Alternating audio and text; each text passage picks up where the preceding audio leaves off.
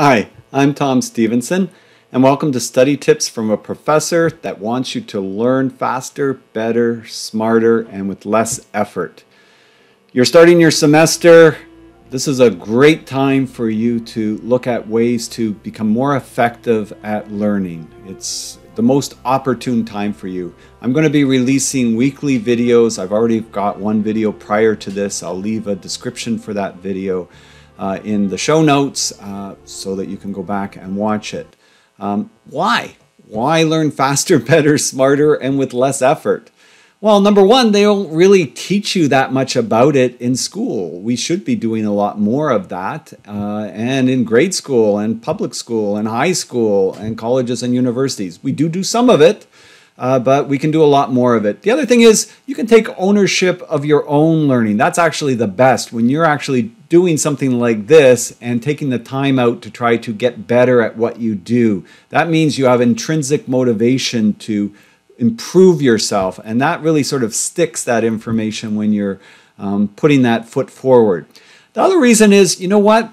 There's this chart I have, and it's from a book called Thank You for Being Late by Thomas Friedman. And he kind of quotes Astro Teller of Google's Alphabet Group uh, on what the view of technology and human adaptability and learning comes into play.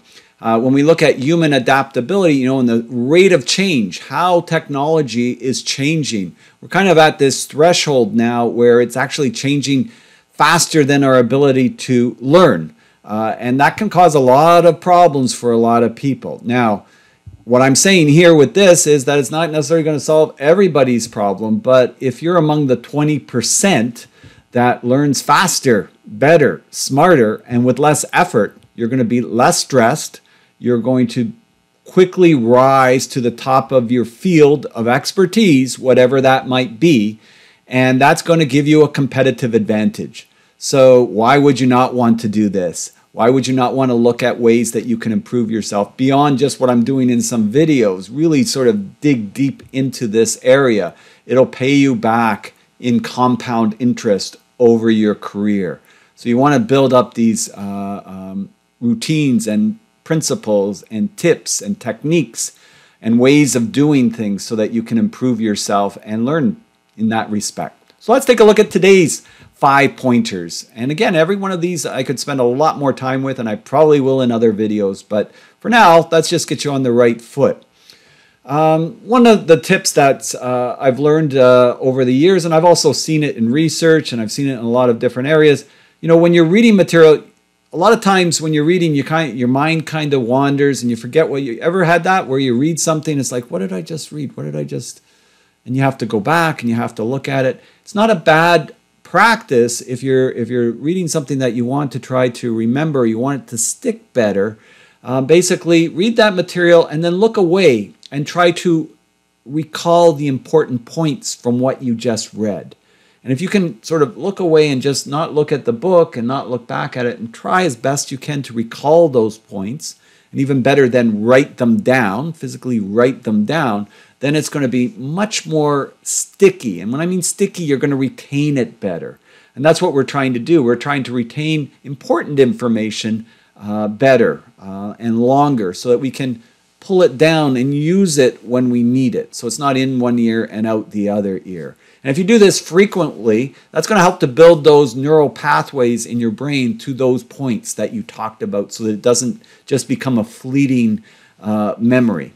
So keep that in mind when you're reading something. It seems like this is something that I should really try to remember. Sort of take a second, look away, and see if you can recall what those points are. It may mean that you go back, you reread it, and then you try to look away. You try to write down what those points are, and then it will stick much better from that perspective. Number two, build practices into your day that will support your learning. We all have habits. We get up, you know, Many of us, we get up, we go and we brush our teeth. We don't even think about it. That's a habit. Going to bed, maybe we brush our teeth then. So that's a habit. And if you've done that all the time, you don't even think about it. It's just you're in motion. And that's that's that allows you to be able to do things much more effortlessly. Um, you can do things during your day that you build in habits that makes it easier for you to find time to study. So if you have a time block and you've got that blocked off, and every day at that time you do that, that's a habit. Maybe you're maybe you're stressed with time, you work part time, you've got all these things on the go. Well, if you make it a habit that from nine o'clock to eleven o'clock every night you shut off the TV and you study, then that's a habit. Then when nine o'clock comes, you're not even thinking about it. It's not hard for you. Oh, I gotta. You're just into that routine, and it just becomes so effortless that way. I remember uh, three years ago, I took a sabbatical, and I was uh, trying to get into the habit of studying again because I hadn't done it for a little while. I'd done my uh, degrees part time while I was working, my, my business degree and my MBA. So I have gotten those habits, but it had been a while. And so what I did was I built in routines of when I was going to study and what I was going to study. And so I did the PMP, Project Management Professional Designation, uh, and I got into the because there's a lot of material to study and to really understand. And even for me, with a project management background, I really had to get down to the nuts and bolts of it, of what they wanted. And I built in this routine. And when I finished that, I was in this great routine. And I thought, you know what? There's this certificate of management and lean construction. I should do that. I'm in this routine. It won't be a big deal. And I just flowed right into it. And It was, was effortless to do that. It was just a nice, even flow. I was in that study routine.